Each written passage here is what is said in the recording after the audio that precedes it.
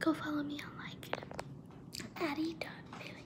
Yeah, this is gonna be a short video because I'm about to the pool, as you can see. So yeah, peace.